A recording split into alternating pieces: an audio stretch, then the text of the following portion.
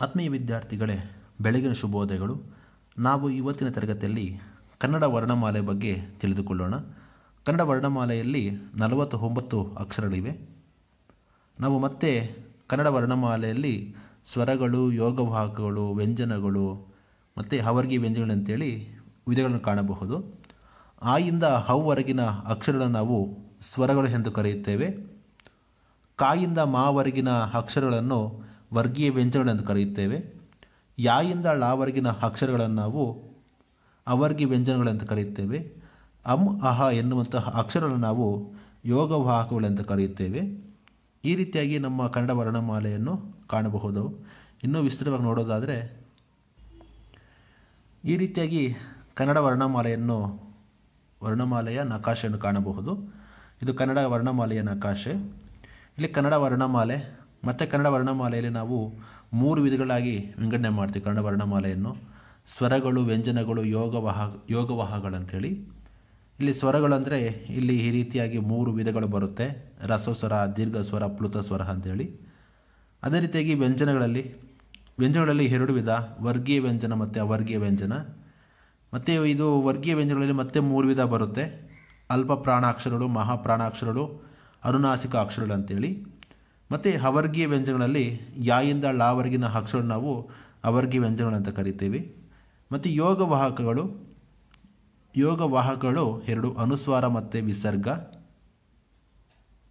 ಈ ರೀತಿಯಾಗಿ ಕನ್ನಡ ವರ್ಣಮಾಲೆಯ ನಕಾಶವನ್ನು ಕಾಣಬಹುದು.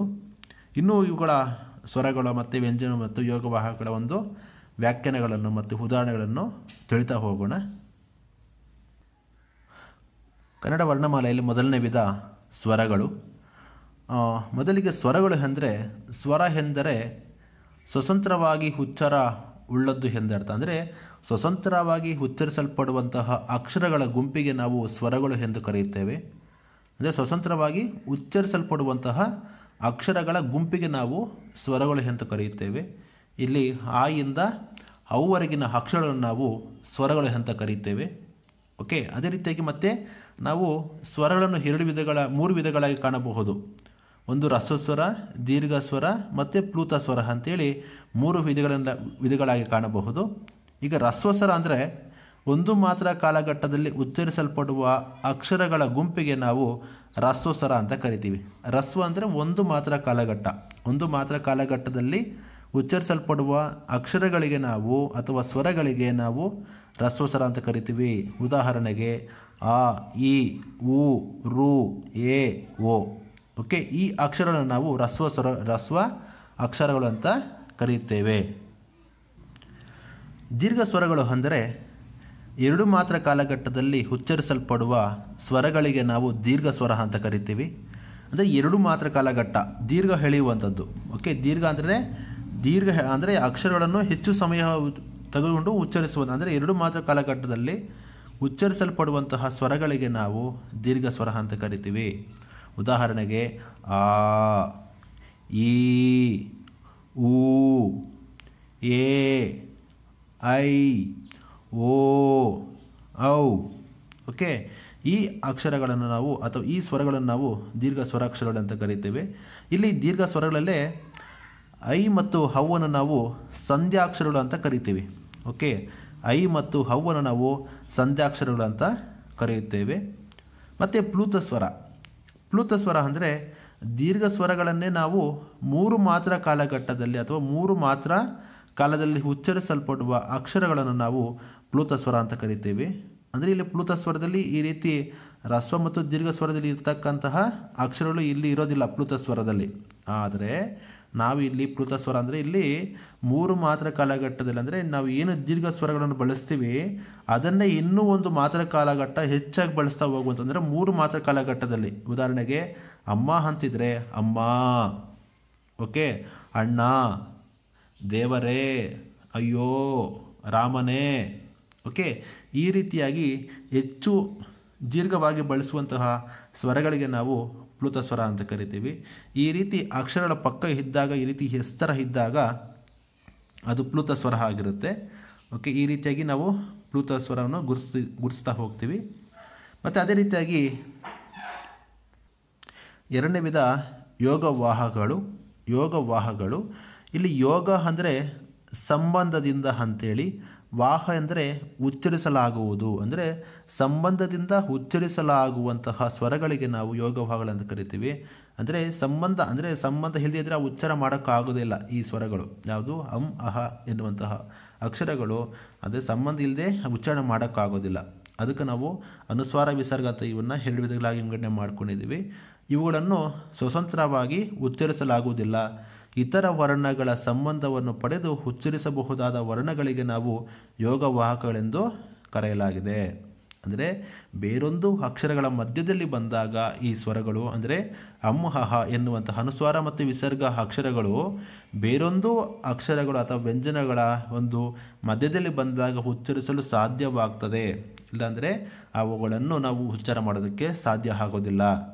ಉದಾಹರಣೆಗೆ ಇಲ್ಲಿ ಅಂದ ಎನ್ನುವಂತಹ ಒಂದು ಪದದಲ್ಲಿ ಆ ಪಕ್ಕದಲ್ಲಿ ಸೊನ್ನೆ ಇದೆ ಓಕೆ ಈ ರೀತಿ ಬಂದಾಗ ಮಾತ್ರ ನಾವು, ಅಂದರೆ ಈ ಎರಡು ಅಕ್ಷರಗಳ ಮಧ್ಯೆ ಬಂದಾಗ ಮಾತ್ರ ಉಚ್ಚಾರ ಮಾಡೋದಕ್ಕೆ ಸಾಧ್ಯ ಆಗ್ತಾ ಹೋಗ್ತದೆ. ಅದಕ್ಕೆ ನಾವು ಅನುಸ್ವಾರ, ವಿಸರ್ಗ ಅಂತ ಕರಿತೀವಿ. ಮತ್ತು ಇಲ್ಲಿ ಯೋಗ ಅಂದರೆ ಸಂಬಂಧದಿಂದ ಮತ್ತೆ ವಾಹಕ ಉಚ್ಚರಿಸಲ್ಪಡುವ ಉಚ್ಚರಿಸಲಾಗುವುದು ಓಕೆ ಈ ರೀತಿ ಸಂಬಂಧದಿಂದ ಉಚ್ಚರಿಸಲಾಗುವಂತಹ ಅಕ್ಷರಗಳಿಗೆ ನಾವು ಯೋಗ ಭಾಗಗಳಂತ ಕರಿತೀವಿ. ಈ ರೀತಿಯಾಗಿ ಯೋಗ ಭಾಗಗಳು ಅನುಸ್ವಾರ ಮತ್ತು ವಿಸರ್ಗ, ಮತ್ತಿಲ್ಲಿ ಉದಾಹರಣೆಗೆ ಇಲ್ಲಿ ಅಂದ ಚಂದ, ಶಂಕರ, ದುಃಖ ದುಃಖ ಪಕ್ಕದಲ್ಲಿ ವಿಸರ್ಗ ಅಕ್ಷರ ಇದೆ. ಓಕೆ ವಿಸರ್ಗ ಎರಡು ಸೊನ್ನೆ ಇದೆ. ನಮಃ, ಮಾ ಪಕ್ಕದಲ್ಲಿ ಎರಡು ವಿಸರ್ಗ ಇದೆ. ವಿಸರ್ಗ ಅಂದರೆ ಈ ರೀತಿ ಎರಡು ಸೊನ್ನೆ ಇದೆ. ಮತ್ತು ಪ್ರಾತಃ ಕಾಲ ತಾ ಪಕ್ಕದಲ್ಲಿ ಎರಡು ಸೊನ್ನೆ ಇದೆ. ಈ ರೀತಿಯಾಗಿ ಅಕ್ಷರಗಳ ಮಧ್ಯದಲ್ಲಿ ಬಂದಾಗ ಇವನ್ನು ಉಚ್ಚಾರ ಮಾಡೋಕ್ಕೆ ಸಾಧ್ಯ ಆಗ್ತದೆ. ಅದಕ್ಕೋಸ್ಕರ ನಾವು ಇವನ್ನ ಯೋಗವಾಹಗಳು ಅಂತ ಕರಿತೀವಿ. ಓಕೆ? ಕನ್ನಡ ವರ್ಣಮಾಲೆಯಲ್ಲಿ ಈಗ ಮೂರನೇ ವಿಧ ವ್ಯಂಜನಗಳು. ವ್ಯಂಜನಗಳಲ್ಲಿ ಮತ್ತು ವ್ಯಂಜನ ಅಂದರೆ ಈಗ ವ್ಯಂಜನಗಳು ಅದರ ಡೆಫಿನೇಷನ್ ಅಂದರೆ ಸ್ವರಗಳ ಸಹಾಯದಿಂದ ಉಚ್ಚರಿಸಲ್ಪಡುವ ಅಕ್ಷರಗಳನ್ನು ನಾವು ವ್ಯಂಜನಾಕ್ಷರಗಳೆಂದು ಕರೆಯುತ್ತೇವೆ. ಅಂದರೆ ವ್ಯಂಜನಗಳ ಸಹಾಯದಿಂದ ಉಚ್ಚರಿಸಲ್ಪಡುವಂತಹ ಅಕ್ಷರಗಳ ಗುಂಪಿಗೆ ನಾವು ವ್ಯಂಜನಗಳು ಅಂತ ಕರಿತೀವಿ. ಇಲ್ಲಿ ಮೊದಲಿಗೆ ನಾವು ಈ ರೀತಿ ಏನು ಈ ರೀತಿ ಕಾಣಿಸ್ತಾ ಇದ್ದಾವೆ ಇಲ್ಲಿ ನೋಡಿ. ಖ ಘ, ಛ, ಝ ಢ ಲ. ಈ ರೀತಿ ಅರ್ಧಾಕ್ಷರಗಳಿಗೆ ಪೂರ್ಣ ಸ್ವರಗಳು ಸೇರಿಕೊಂಡು ಪೂರ್ಣ ಅಕ್ಷರಗಳಾಗ್ತಾ ಹೋಗ್ತವೆ ಇವು. ಓಕೆ ಈ ರೀತಿ ಅರ್ಧಾಕ್ಷರಗಳಿಗೆ ಖು ಪ್ಲಸ್ ಅ ಇಸ್ ಇಕ್ವಲ್ ಟು ಖ. ಓಕೆ ಖ ನಾವಂತೂ ಉಚ್ಚಾರಣೆ ಮಾಡ್ತಿದ್ದೀವಿ ಅಂದರೆ ಖ ಜೊತೆಯಲ್ಲಿ ಹಾವನ್ನು ಸಹ ಉಚ್ಚಾರಣೆ ಆಗ್ತಾ ಇರ್ತದೆ. ಓಕೆ ಈ ರೀತಿಯಾಗಿ ನಾವು ಅರ್ಧಾಕ್ಷರಗಳ ಅರ್ಧ ಅರ್ಧ ವ್ಯಂಜನಾಕ್ಷರಗಳಿಗೆ ಸ್ವರಗಳು ಸೇರಿಕೊಂಡು ಪೂರ್ಣ ವ್ಯಂಜನಗಳು ಆಗ್ತಾ ಇರ್ತವೆ. ಇಲ್ಲಿ ಇದರ ಡೆಫಿನೇಷನ್ ಒಂದ್ಸರಿ ಅರ್ಥ ಮಾಡಿಕೊಳ್ಳಿ. ಸ್ವರಗಳ ಸಹಾಯದಿಂದ ಉಚ್ಚರಿಸಲ್ಪಡುವಂತಹ ಅಕ್ಷರಗಳ ಗುಂಪಿಗೆ ನಾವು ವ್ಯಂಜನ ಅಕ್ಷರಗಳು ಅಥವಾ ವ್ಯಂಜನಗಳು ಎಂದು ಕರೆಯುತ್ತೇವೆ. ಓಕೆ? ನಾವು ಖ ಅಂತ ಉಚ್ಚಾರಣೆ ಮಾಡ್ತಿದ್ದೀವಿ ಅಂದರೆ ಖ ಜೊತೆಯಲ್ಲಿ ಆನು ಸೇರಿಕೊಂಡಿರುತ್ತೆ. ಓಕೆ? ಘ ಅಂತ ಉಚ್ಚಾರಣೆ ಮಾಡ್ತಿದ್ವಿ ಅಂದರೆ ಗ ಜೊತೆಯಲ್ಲಿ ಆನು ಸೇರಿಕೊಂಡಿದೆ. ಇದು ಆದರೆ ಇದರ ಮೂಲ ರೂಪ ಇದು. ವ್ಯಂಜನಗಳ ಮೂಲ ರೂಪ ಇಲ್ಲಿ ಏನಿದೆ? ಅರ್ಧಾಕ್ಷರ ಅಂತ ಕರಿತೀವಿ ಮತ್ತು ಅರ್ಧಾಕ್ಷರ ಅಂತ ಕರಿತೀವಿ ನಾ. ಓಕೆ, ಮೂಲ ವ್ಯಂಜನಾಕ್ಷರಗಳಿವು. ಈ ರೀತಿ ಮೂಲ ವ್ಯಂಜನಾಕ್ಷರಗಳಿಗೆ ಈ ರೀತಿ ಸ್ವರಗಳು ಸೇರಿಕೊಂಡು ಅವು ಖ, ಘ, ಛ ಈ ರೀತಿ ಹಾಕ್ತಾ ಹೋಗ್ತವೆ.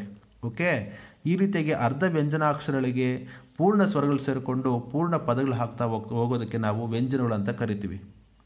ಓಕೆ, ಮತ್ತೆ ಇಲ್ಲಿ ವ್ಯಂಜನಗಳಲ್ಲಿ ಮತ್ತೆ ಎರಡು ವಿಧ ವರ್ಗೀಯ ವ್ಯಂಜನ ಮತ್ತು ಹವರ್ಗೀಯ ವ್ಯಂಜನ ಅಂತೇಳಿ.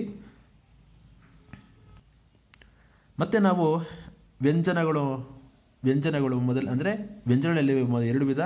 ವರ್ಗೀಯ ವ್ಯಂಜನ ಮತ್ತು ಅವರ್ಗೀಯ ವ್ಯಂಜನ. ಈಗ ನಾವು ವರ್ಗೀಯ ವ್ಯಂಜನದ ಬಗ್ಗೆ ತಿಳಿದುಕೊಳ್ಳೋಣ. ವರ್ಗೀಯ ವ್ಯಂಜನ ಅಂದರೆ ವರ್ಗವಾಗಿ ವಿಭಾಗಿಸಿದವು. ಅಂದರೆ ಈ ರೀತಿ ನೆನ್ಪಿಟ್ಕೊಳ್ಳಿ. ಅಂದರೆ ವರ್ಗ ಮಾಡಲು ಬರ್ತಕ್ಕಂತಹ ಅಕ್ಷರಗಳ ಗುಂಪಿಗೆ ನಾವು ವರ್ಗೀಯ ವ್ಯಂಜನಗಳು ಅಂತ ಕರಿತೀವಿ. ಓಕೆ? ಅಂದರೆ ವರ್ಗ ಮಾಡಲು ಬರ್ತಕ್ಕಂತಹ ಅಕ್ಷರಗಳ ಗುಂಪಿಗೆ ನಾವು ವರ್ಗೀಯ ವ್ಯಂಜನ ಅಂತ ಕರಿತೀವಿ. ಅಥವಾ ವ್ಯಂಜನಾಕ್ಷರಗಳು ಹುಟ್ಟುವಂತಹ ಸ್ಥಾನಗಳಿಗನುಸಾರವಾಗಿ ಗುಂಪಾಗಿ ವಿಂಗಡಿಸಲಾಗುತ್ತದೆ. ಉದಾಹರಣೆಗೆ ಈಗ ಕವರ್ಗ, ಚವರ್ಗ, ಟವರ್ಗ, ತವರ್ಗ, ಪವರ್ಗ ಅಂತೇಳಿ ನಾವು ಈ ರೀತಿ ವರ್ಗ ಮಾಡ್ಕೊಂಡಿದ್ದೀವಿ.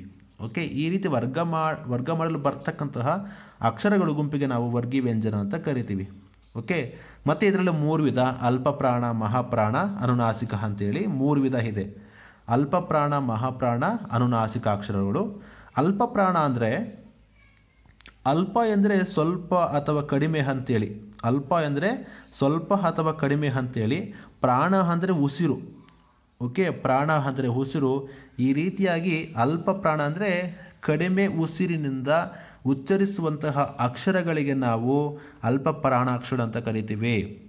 ಉಸಿ, ಅಂದರೆ ಉಸಿರಿನ ಶಕ್ತಿಯನ್ನು ಕಡಿಮೆ ಹಾಕಿ ಉಚ್ಚರಿಸಲ್ಪಡುವ ವ್ಯಂಜನಗಳು ಪ್ರತಿಯೊಂದು ವರ್ಗದ ಒಂದನೆಯ ಮತ್ತು ಮೂರನೆಯ ವ್ಯಂಜನಗಳು ಅಲ್ಪ ಪ್ರಾಣಾಕ್ಷರಗಳು. ಅಲ್ಪ ಪ್ರಾಣ ಅಂದರೆ ಈಗಾಗಲೇ ಅಲ್ಪ ಅಂದರೆ ಕಡಿಮೆ ಅಂತೇಳಿ ಪ್ರಾಣ ಅಂದರೆ ಉಸಿರು. ಕಡಿಮೆ ಉಸಿರಿನಿಂದ ಉಚ್ಚರಿಸುವಂತಹ ಅಕ್ಷರಗಳ ಗುಂಪಿಗೆ ನಾವು ಅಲ್ಪ ಪ್ರಾಣಾಕ್ಷರ ಅಂತ ಕರಿತೀವಿ. ಉದಾಹರಣೆಗೆ ಖ, ಗ, ಚ, ಜ, ಟ, ಡ ಚ ದ, ಪ, ಬ. ಓಕೆ?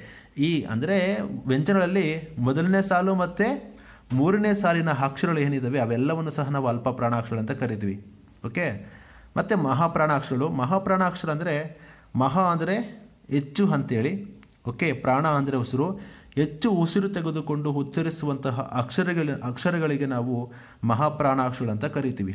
ಓಕೆ, ಹೆಚ್ಚು ಉಸಿರಿನಿಂದ ಉಚ್ಚರಿಸಲ್ಪಡುವ ವ್ಯಂಜನಗಳು ಮಹಾಪ್ರಾಣಾಕ್ಷರ ಅನಿಸುತ್ತವೆ ಅಂದರೆ ಹೆಚ್ಚು ಉಸಿರು ತಗೊಂಡು ಉಚ್ಚರಿಸುವಂತಹ, ಅಂದರೆ ಒತ್ತು ಹೇಳ್ತೀವಿ. ಓಕೆ, ಹೆಚ್ಚು ಉಸಿರು ತಗೊಳ್ತೀವಿ. ಕ ಅನ್ನೋದಕ್ಕೂ ಎರಡನೇ ಕ, ಖ ಅಂತ ಒತ್ತು ಹೇಳೋದಕ್ಕೂ ವ್ಯತ್ಯಾಸ ಇದೆ.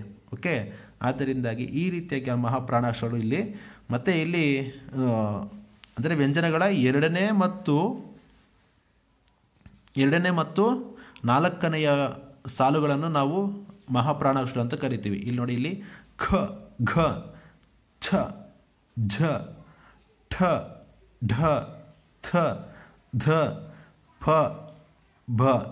ಓಕೆ? ಈ ರೀತಿಯಾಗಿ ಒತ್ತಿ ಹೇಳ್ತೀವಿ ನಾವು. ಓಕೆ? ಹೆಚ್ಚು ಉಸಿರು ತಗೊಂಡು ಹೇಳೋದಕ್ಕೆ ನಾವು ಮಹಾಪ್ರಾಣಾಕ್ಷರ ಅಂತ ಕರಿತೀವಿ. ಮತ್ತು ಅನುನಾಸಿಕ ಅಕ್ಷರಗಳು. ಅಂದರೆ ಮೂಗಿನ ಸಹಾಯದಿಂದ ಉಚ್ಚರಿಸಲ್ಪಡುವ ವ್ಯಂಜನಗಳಿಗೆ ನಾವು ಅನುನಾಸಿಕಗಳು ಎಂದು ಕರೆಯುತ್ತೇವೆ.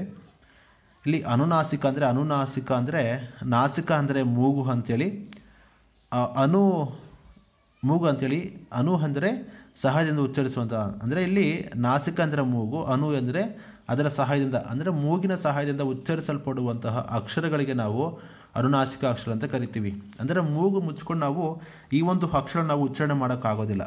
ಬೇಕಿದ್ರೆ ಟ್ರೈ ಮಾಡಿ ನೋಡಿ. ಮೂಗನ್ನು ಅದುಮಿಟ್ಟುಕೊಂಡು ಅಥವಾ ಮೂಗನ್ನು ಮುಚ್ಚಿಕೊಂಡು ನಾವು ಈ ಒಂದು ಅಕ್ಷರವನ್ನು ನಾವು ಉಚ್ಚಾರಣೆ ಮಾಡೋಕ್ಕಾಗೋದಿಲ್ಲ.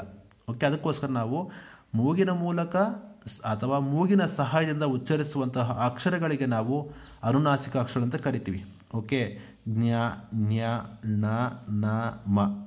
ಓಕೆ ಇವುಗಳಿಗೆ ನಾವು ವ್ಯಂಜ, ಅನುನಾಸಿಕ ಅಕ್ಷರ ಅಂತ ಕರಿತೀವಿ. ಓಕೆ ಮತ್ತು ಈ ವ್ಯಂಜನಗಳಲ್ಲಿ ಎರಡನೇ ವಿಧ ಅವರ್ಗಿ ವ್ಯಂಜನ.